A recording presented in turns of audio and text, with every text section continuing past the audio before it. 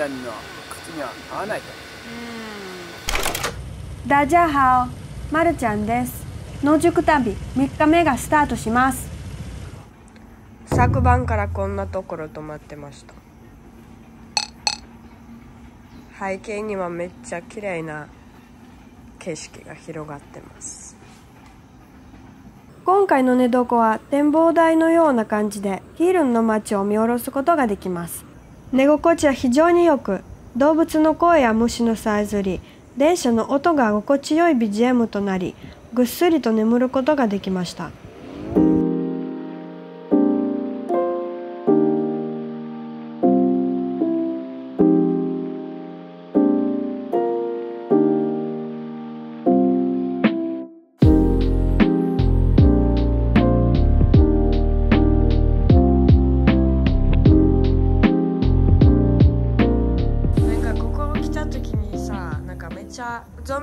きそうなところちょっと不気味さがあって。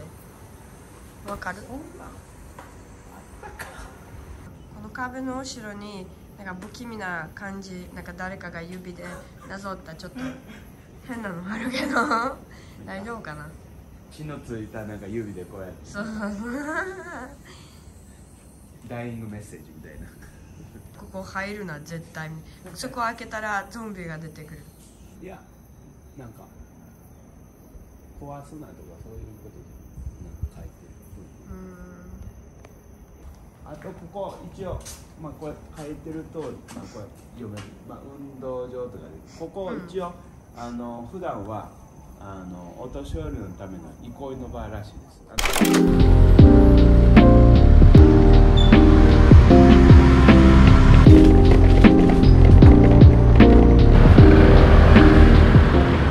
あの今日の予定は観光客に大人気な街9分に向かうことです。でもその前にもう一つの観光スポットに立ち寄ることにしました。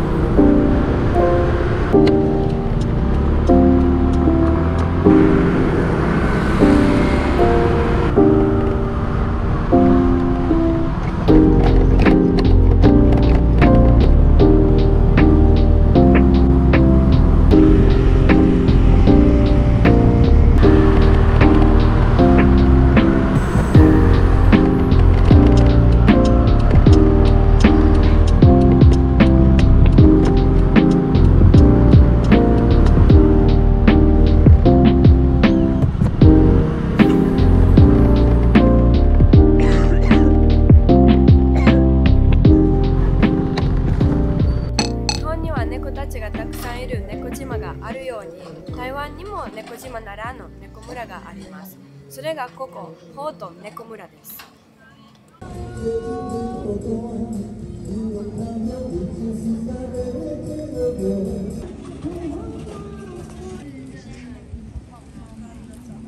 ここの集落はかつて台湾最大の炭鉱の上にありました。1990年代に鉱山が閉鎖され町の人口は減少しましたが代わりに猫の数が急増。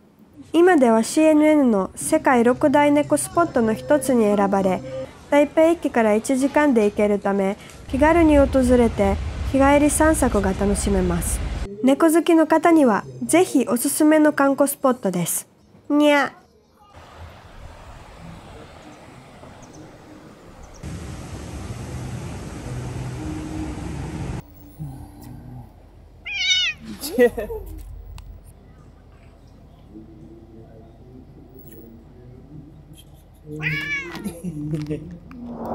天気があまり良くないので急いで今日のハイライトである9分へ向かいます。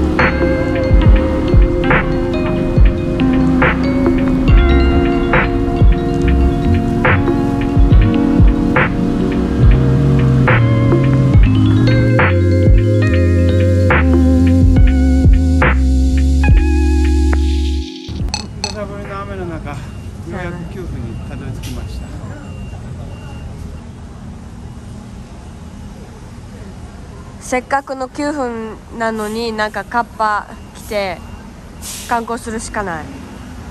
もうちょっと綺麗な姿見たかった。まあでも今でも十分綺麗やけどな。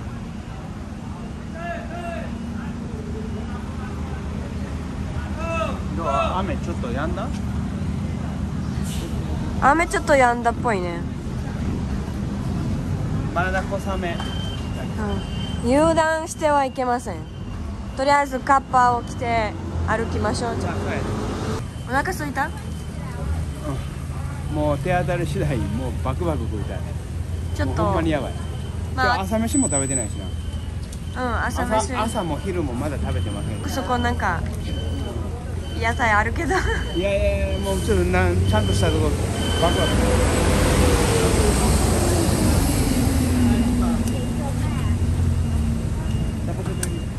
9分は美しい山の上に広がる町で日本統治時代には銀行の町として栄えました。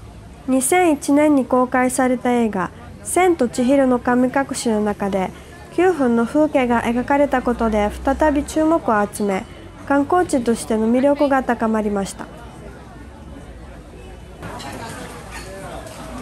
れが9分の商店街かな。なん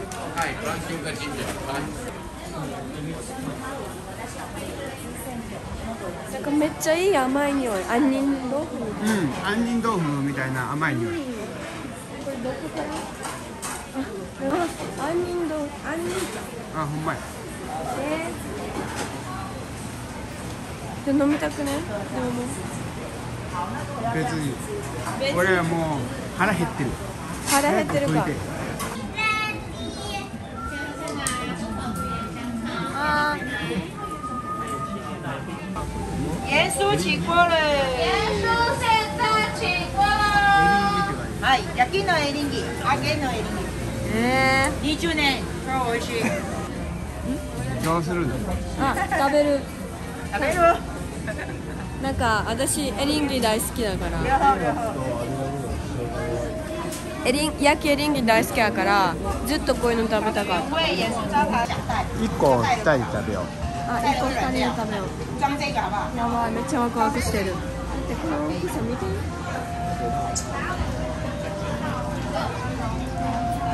綺麗なでかいよねいや焼いたらちっちゃくなるんだ多分それでもでかいけどな。なんかドーピングとかしとんじゃん。ドッピングはどうしようよ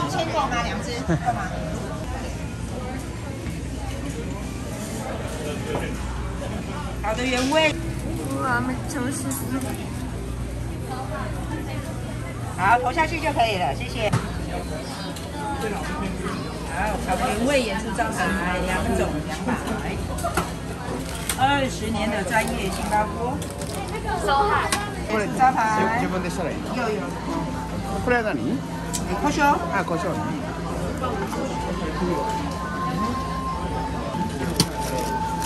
菇哦，十五个原味，盐酥鸡排がとう，谢谢。こっち焼き。こっち揚げ。こっち揚げ。これが揚げリンギです。ちょっと食べてみます。うん。めっちゃうまい。なんかこの外はカリカリで中はめっちゃなんていうのかな。シャキッとしたエリンギ。でジューシーさもあってうん。でヒロはいい感じでスパイス振ってくれたからちょっとピリ辛で最高、美味しいねこれ。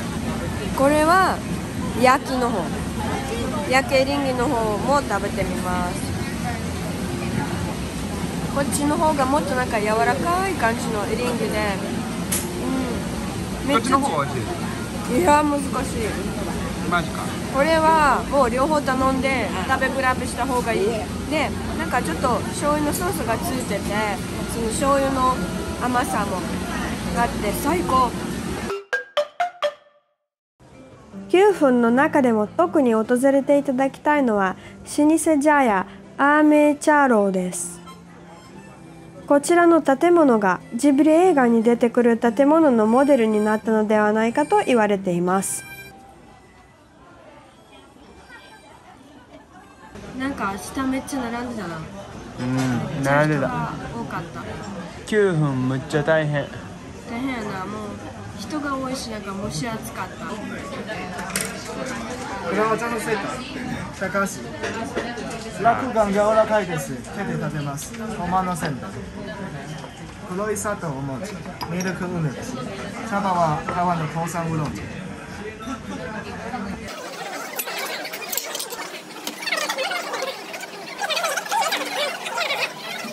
A few moments later. あとは自分に入れてください。ありがとうございますありがとうございました。めっちゃ複雑図だったよね。いやこれちょっとわからん。これちょっとできないかもしれない。自分だけ。自分うんこれは難しいね。これもう一度聞かないといけないわ。こんなもん。できるわけがない。とりあえずこれだけ。はい。飲んでみます。はい。うん美味しい優しい味のお茶。でも多分飲めば飲むほどちょっとあの渋みが出るかうんうん。らこの緑の？うん落眼落眼台北この前食べたことがあってめっちゃ美味しかったから。あそう。どっちも美味しい。うん。もう口に入れた瞬間なんか砂が広がったみたいな。まあいい感じ。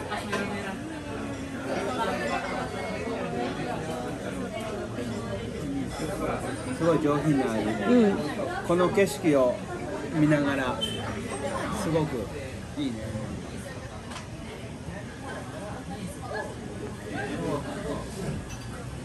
スイーツも食べて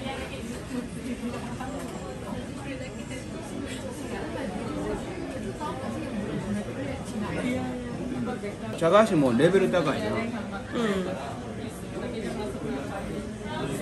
うん。俺も好き。こっちの中は砂がいっぱい入ったんちゃう？みたいな食感。だけど甘い美味しい砂砂が入った感じ。うん。そうだよね。私なんかこの台湾スタイルのお茶が大好きちょっとあのこういう茶菓子もうちびちび食べて飲むのめっちゃ幸せな気持ちになる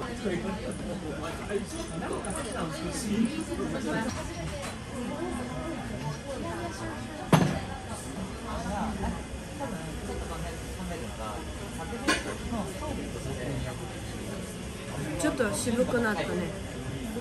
苦みが出た。夜に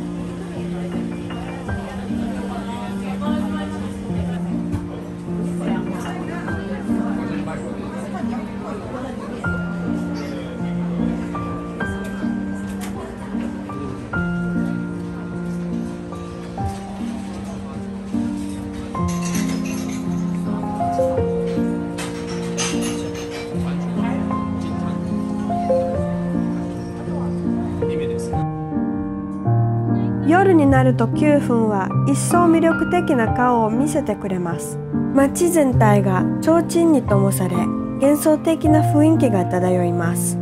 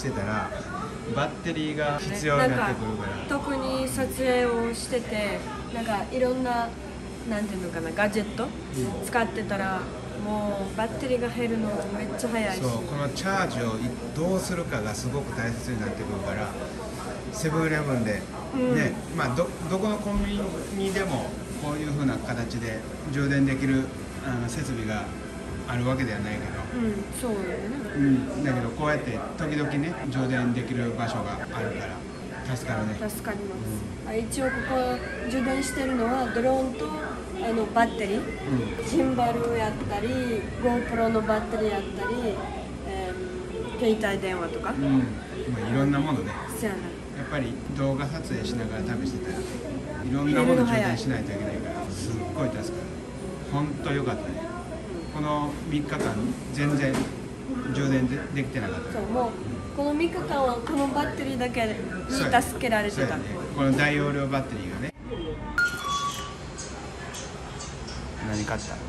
えこれなんか台湾式おでんみたいやな感じ。めっちゃおでんなんかとりあえず分かってるのは これが大根で下に何か入ってる。何か入ってんの？お その大根以外何か買ったけどそれ何かわからない。OK 見た目的にはなんか豆腐みたいな感じだけど絶対豆腐じゃない、豚の血の塊みたいなメニューもあってそれかな？もうちょっとドキドキあしてる OK あとなんか黒糖豆腐みたいなスイーツもあって。スイーツね。食後のスイーツね。じゃあちょっとおでんうん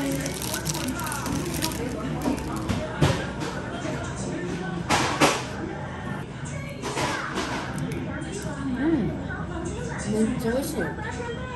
日本のおでんの出汁が結構あっさりしてて後からいろんな味付け自分の好みで入れるけどこれはもうすでにザ・台湾っていう味付けがついてる。もう本当に美味しい。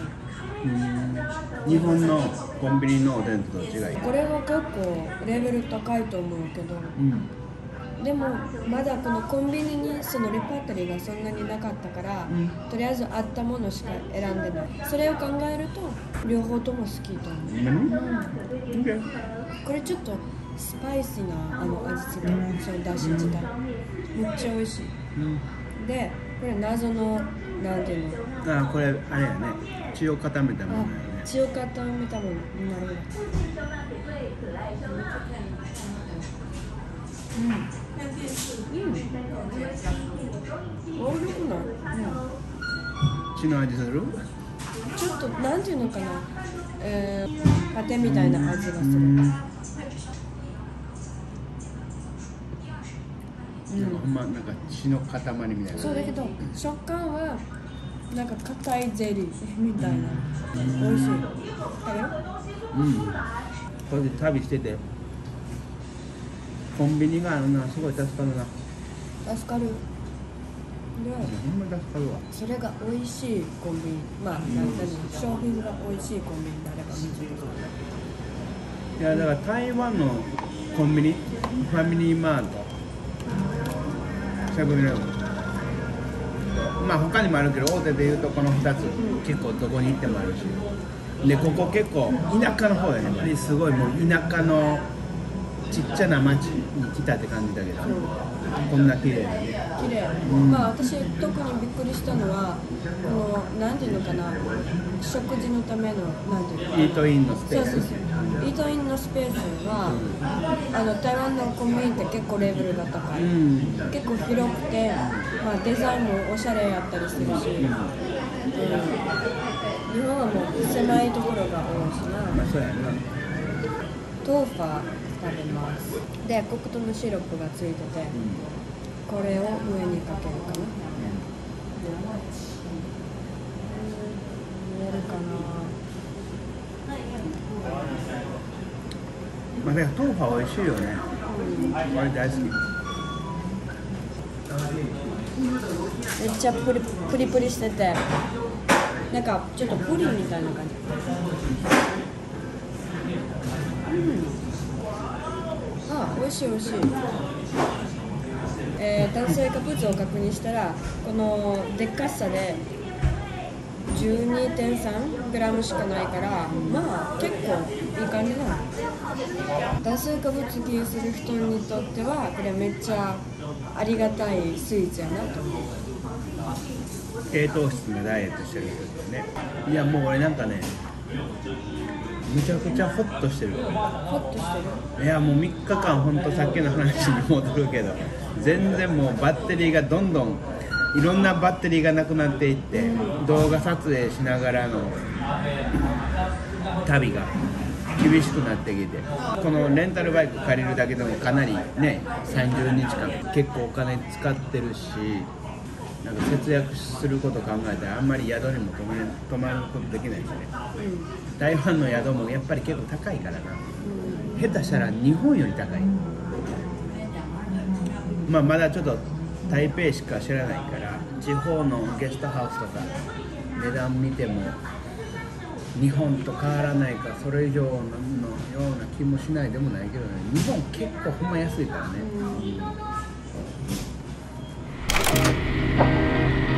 充電完了。しかしまだ重要な任務が残っています。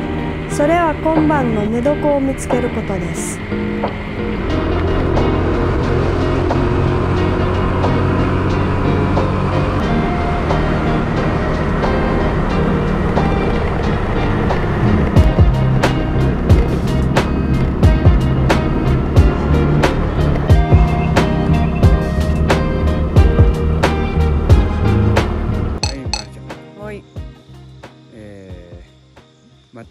昨日に引き続き現在夜中の1時です。今から寝ます。もうテントとかは全部もうセットできたので、あとは寝るだけですね。もう歯磨きも終わったし、うん。えーデイ3でしたっけ？デイ3が終了なのかな？そうですよね。うん。で、えー翌朝。ほんまにうん、なんもないところで泊まってる。うん、そう。ここはもう本当に何にもない。またあの山奥ね。うんさっきふフクロウがうん。あの遊びに来てたね、うん。近くに。まあそんなところ、うん。そんな山奥何にもない。あの携帯の電波も一切入らないね、入らない。毎回毎回どんだけ変なところに寝泊まりしてるんだっていう話で。だけどねこういうところじゃないとね落ち着いて寝れないからね、うん。うん。まあ、仕方ないんですけどもまた、えー台湾の山中で夜を過ごしますということで、はい。またもうちょっと明日以降できるだけ早くねあの寝行床も見動できたらつけて、うん、いいけど毎日毎日なんかどんどんやばくなってる傾そうやな。向ですまあ今日ちょっとあの、まあ、今まで溜まってた分のバッテリーのそうそう充電とかもあったからあったから。まあ仕方ないけど、まあ明日以降はもう少しスムースな形でね、うん。行動していきましょう、イエイ。ということでおやすみなさい。おやすみおはようございます。おはようございます。今朝9時を回ったところです。今日も一日頑張りましょう。頑張りましょう。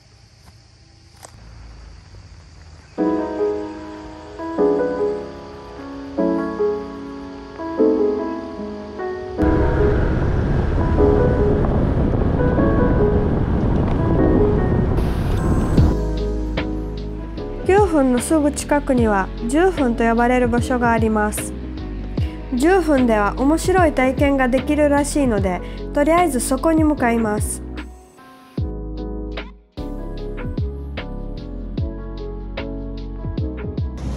10分に到着しました。今から観光します。10分老街は飲食店や工芸品店が軒を連ねた商店街で特に目を引くのは多くのランタン屋さんです。ここでランタンを購入し願い事を込めて空に放つ体験ができます。単色のランタンは200台湾ドルします。少し高いかもしれませんが私には大切な願い事があったため飛ばしてみることにしました。私たちも一個飛ばしてみる？まあ俺は興味ないけど生まれたまあちょっと一個飛ばしたい願いがあるからあそう。そうしようか。じゃあや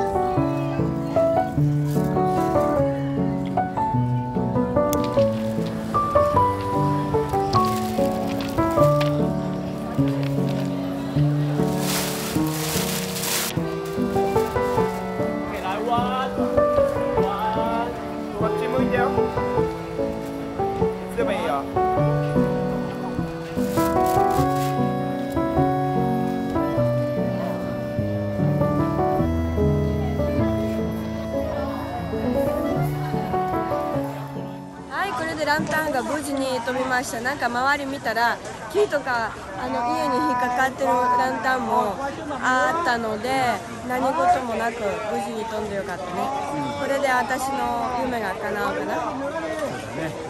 ウクライナに平和を。スラブ・ウクライニ。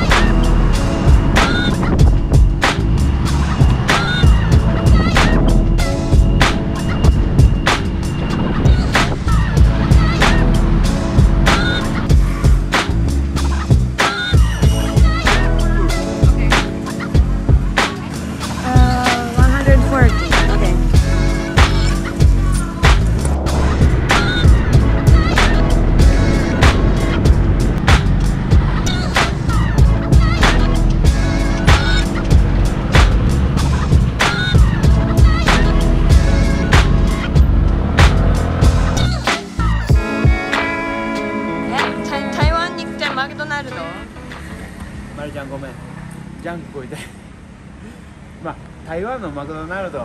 また面白いよね多分。経験経験。なんか日本みたいに台湾のメニューあるかもね。もう12時なんでがっつり。おごーい。飯食べましょう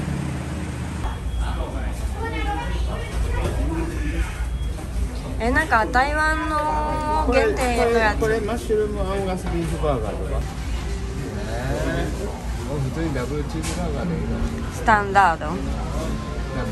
まあいいよフライドチキンかアップルパイだな私がここでしか食べれないやつにするからやばいこんだけ頼んで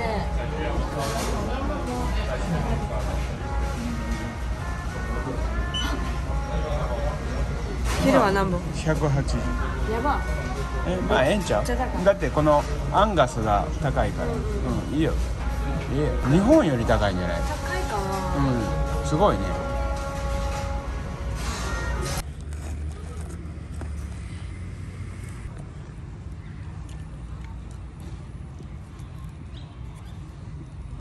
はい。マッシュルームとアンガスビーフのバーガー。ちょっと食べてみます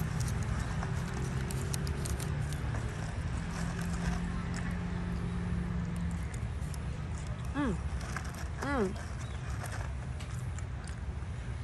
私これ好き。あそう。マッシュルームが好きやから。うん。うん。うん正解？正解やけど高いやっぱり。まあ美味しいっちゃ美味しいけど他のマクドナルドの商品も十分美味しいからこんだけお金払ってこれを買おうか、まあ、また別問題やと。うん。じゃあ台湾のマクドナルドも問題ないってことだよね。問題ない。全然いける。うん。ねあとなんか台湾のメニューこのなんかスパイシーなソースなんかヤンニョムチキン的な、そうかな？うん。スパイシーなソースがついてるチキン。をちょっとん食べてみます。それうまそうやな。うん。うんうんうん。これ甘いけど。むっちゃ汚れてるやん。うん。大丈夫？も食レポの裏側にこういうのうなんかあれやね。ヤンニョムじゃないな。これ韓国のヤンニョムチキンと見せかけて中国の香辛料使ってる。うん。うん。すごい独特。いっぱいソースがついてるけどこれがなんか気軽に外で食べれるメニューではない。いやもうえげつないことになっとんな口の前うん。さっき人間食ってきた。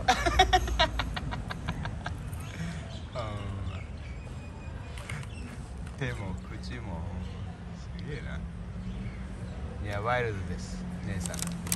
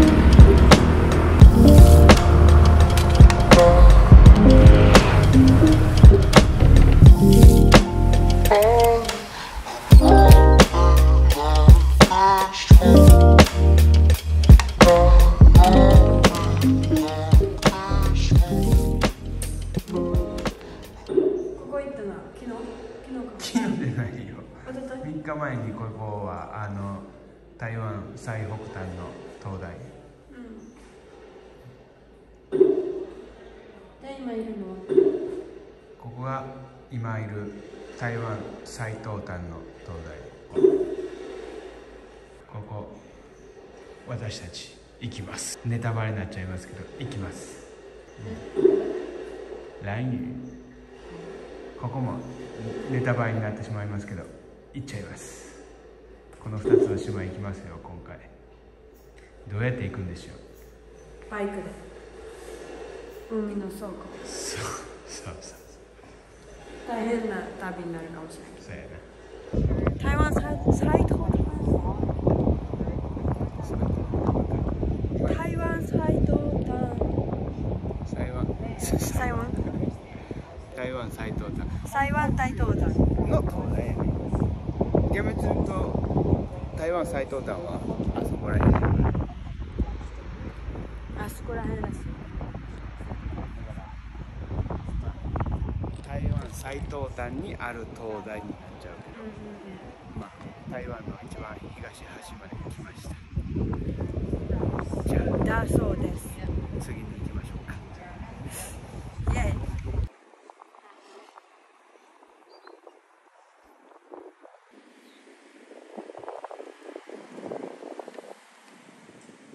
さっきの東大のすぐ近くにこんなに大量のお墓、こ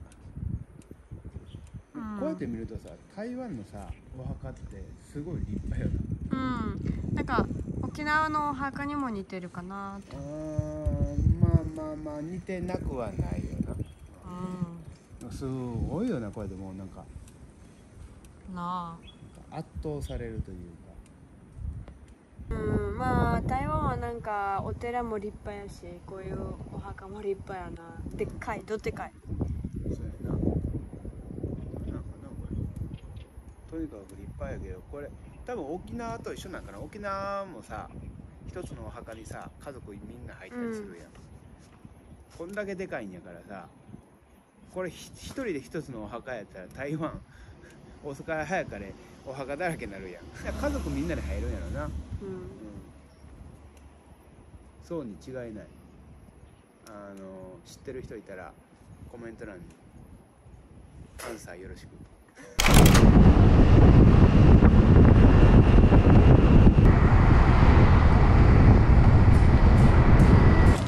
道中お寺から太鼓の音が聞こえたので何が起きてるかちょっと寄り道して見てみたいと見ましょう見ましょう。なんか面白そう。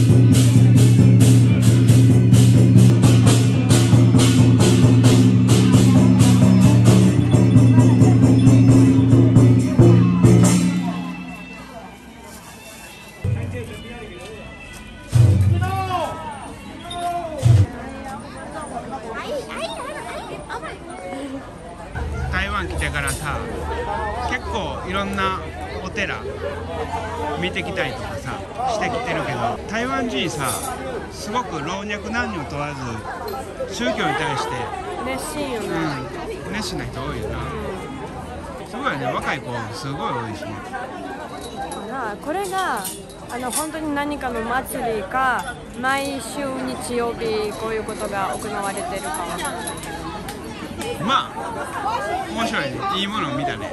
面白い。うん。これも含めてその国を知るということで。面白かった「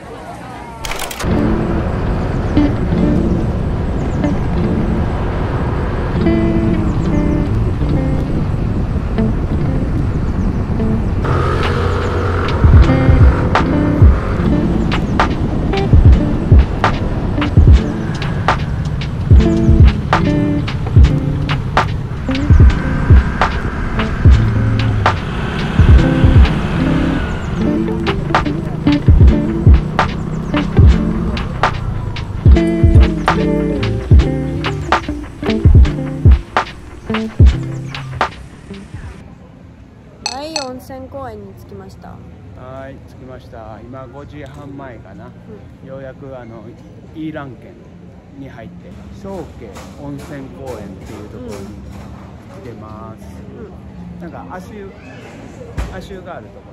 せっかくなんで立ち寄ってみました。この後ねすぐねこの近くにちょっと調べたら、無料のまたあの公衆浴場があるということで例によって昨日2人ともまたお風呂に入れてませんので、まあとりあえずまあ時間も押してきたんでパパッと楽しみに。は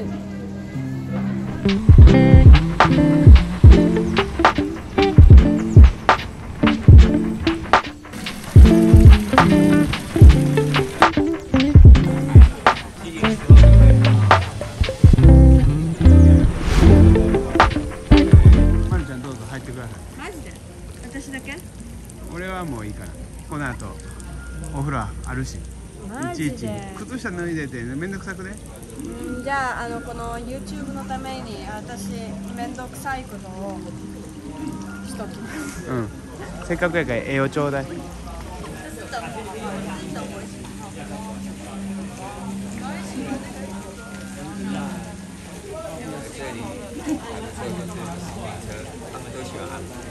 加減はどうちょうどいい感じ私にとっては熱くもなく冷たくもなくなんかぬるい。ぬいやぬるくないよ。あのちょうどいい熱さ。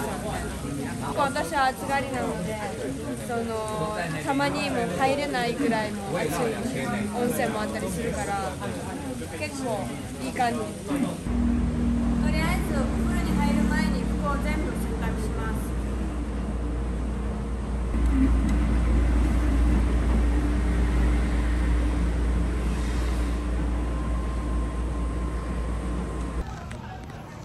はい今からお風呂に入ります。入ります。えー実はですねちょっと当初の予定ではあの無料の公衆浴場に入る予定だったんですけども先ほどちょっと確認したところ、どうやら男のみのあの無料の公衆浴場ということが判明しましたので急遽予定を変更して、こちらのあの有料のあの1人80元の公衆浴場に、えー入りたいと思います。えー本当はちょっと僕一人でもねあのその無料の公衆浴場どんなところなのかちょっと撮影も兼ねて入ろうかなと思ったんですけどもちょっとね今先ほど確認したところあのおじいちゃんがねいっぱいいて撮影はちょっと難しいかなと思ったので、えー断念しましたただ、えそこの公衆浴場あの雰囲気的には昭和の公衆浴場みたいな雰囲気だったのでちょっと撮影したいんですけどもちょっとそれができないのが本当残念。備考欄にでもそこの情報あの載せとくんでよかったらいつか誰かあの行ってみてください。すごく面白いところです。じゃあとりあえず今から入りましょうか。行ってきます。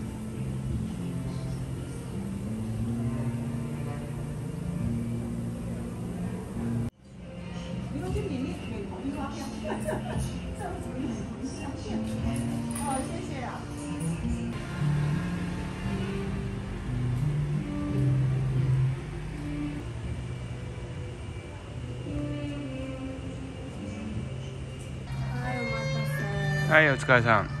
どうやった？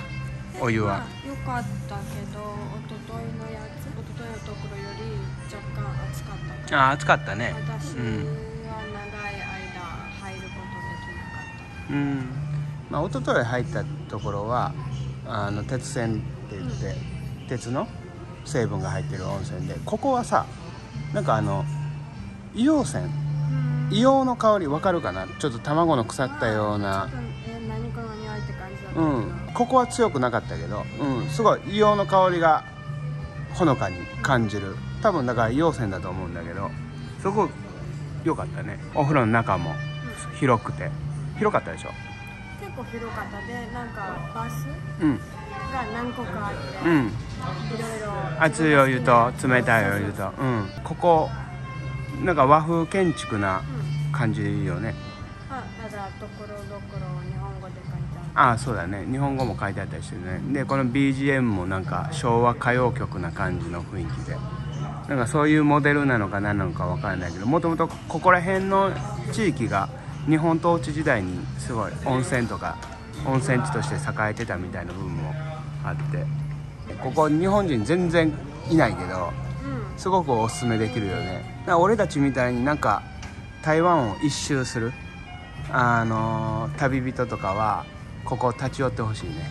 うん、絶対おすすめ。すごく良かった。うん。じゃあ行きますか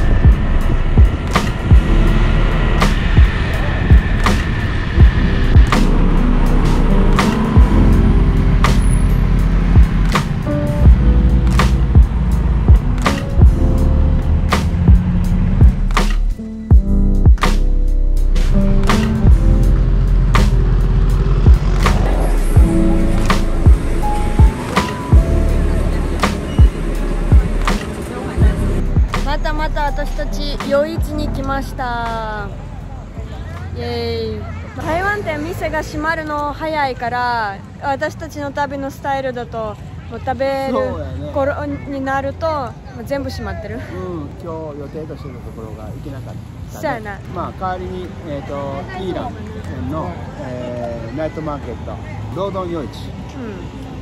うん。に来ました。はい。行きましょう。兄貴ポテトって書いて兄貴ポテト。なんか兄貴シリーズ多いね。焼肉兄貴。とか。で俺のフレンチみたいな感じだけど焼肉兄貴兄貴ポテト。すき焼き兄貴もあったし。ね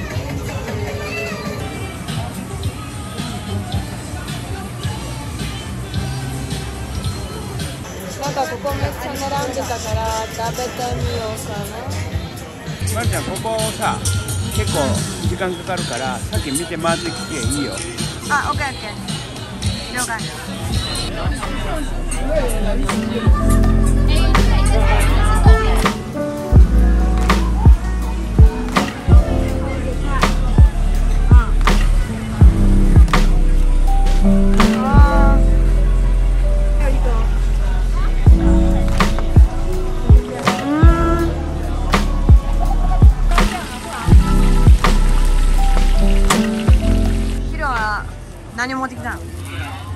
えさっきだから並んでた。このネギ、あー美味しそう。うん、じゃあ食べていい？いいよ。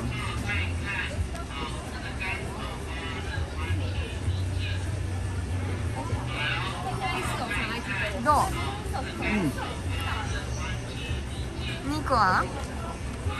えーっとねネギがむっちゃ詰まってて。うんうん見てわかる通うんり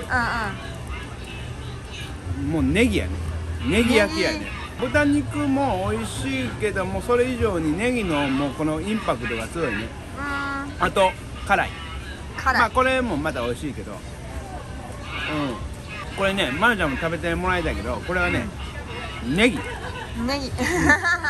まあ美味しい。うん。食べてみます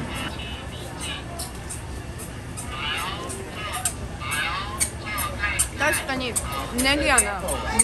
豚肉もまあまあ感じないわけではないけど。ないけどだからネギの存在が大きすぎて、うん。しかもちょっとなんかシャキシャキしてるネギで、それやったら私焼き鳥のネギマの方が好き。なんか、ネギの方にもちゃんと火が通ってて、うん。あのそうやな。まるちゃんさっき何買ってきたの？このなんていうのかな。見た目もめっちゃ可愛い。なんか桃みたい？大きな桃あの中にはあのいろいろニラとか卵とあのオイスターが入ってて牡蠣が入ってて。だから肉まんを揚げたみたいな感じやね見た目肉はまんだけど生地は薄い。なんか餃子みたいな生地の。あそう、オッケーでちょっと食べてみます、うんちょっとあのお好み焼きっぽい。ただお好み焼きソースじゃなくてなんか甘いあのー甘辛のソースが入ってて。で、うん、私が好き個人的に。で熱々やし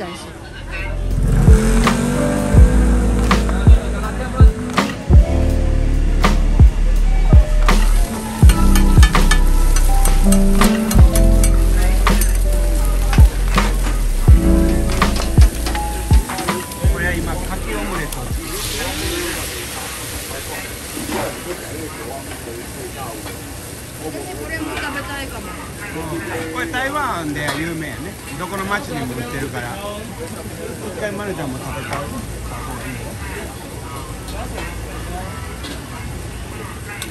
がいいいいかいいかこれが台湾名物かきオムレツです。うわ。こんな感じ。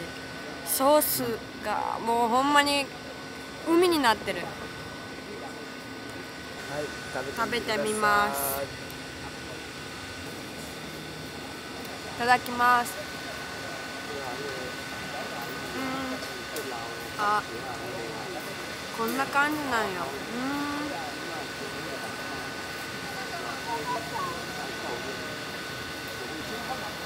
ん。どうなんやろ。う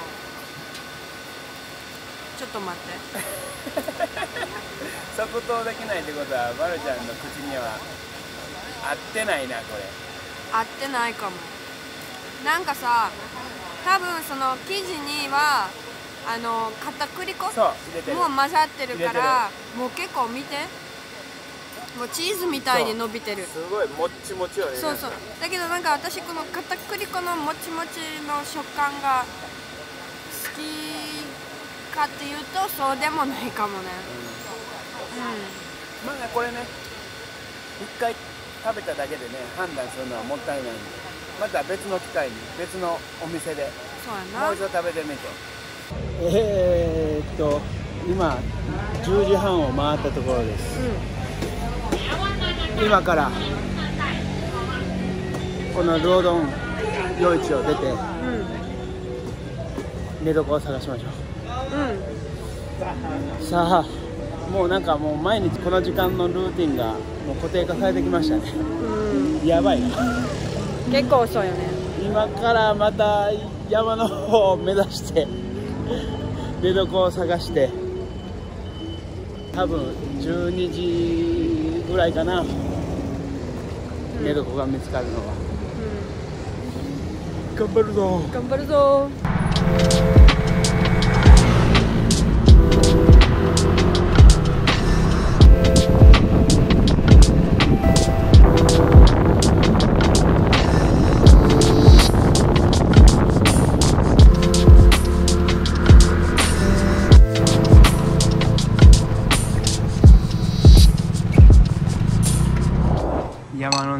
入る前の最後のチェックポイント。ここイーランのもうほんと外れの片田舎に来てて。ここが最後のセブンイレブン。もうここを抜けるともうあとはただただ山奥です。山奥の山奥。うん山奥の山奥。もう今夜の11時40分です。まだ寝床まだ決まってませんその前の腹ごしらえで最後のセブンイレブンに来てるんですけどこの片田舎のセブンイレブンでなんと日本人発見しました。日本人の吉田くんです。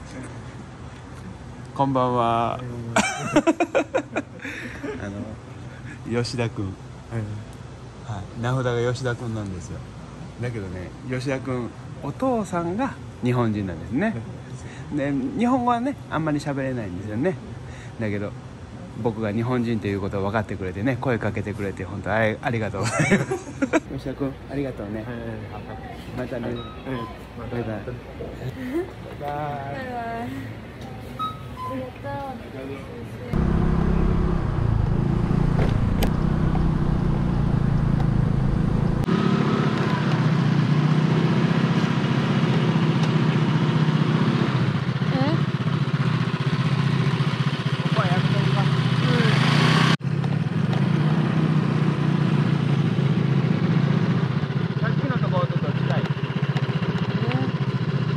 分からんこっちが広いからこっちの方がいいこっちの方がいいはい最後こっちとやったらどっち私ここがなあいいかここいいよななうんいいどうするまだ見るかもうここにするかうん見ていいんやけどどっちでもいいよえちょっと待ってここは何なんか施設えー、っと観光地そこがあの綺麗な湖。うんうんうん。まあここにしようかも。えーはい。台湾一周の旅、えー、4日目が、えー終了しました、しました、えー時刻は1時ちょうどです。うん。はい、えーテントも、えーご覧の通り設置完了しました。今日はそんなに山奥にね来なくてうもちょっと山に入ったところのあ駐車場？駐車場そう。あのなんか近くの綺麗な湖？湖が観光地になるのかな？の大きな大きな巨大な駐車場の、えー片隅で端っこの方でうん。あの目立たないようなスペースがあったのでそこで、えー設置しました、はい。えー以上です。そうですね。以上か。ちょっとできるだけ早く余裕を持った行動を明日以降なんとかねしていきたいですねうんはいということで、えー終わりにしますおやすみなさはいおやすみなさい今回の動画はここまでです。次回の動画を見逃さないようにチャンネル登録をお願いします。そしてグッドボタンやコメントをしていただけると嬉しいです。よろしくお願いします。ではまた。パパー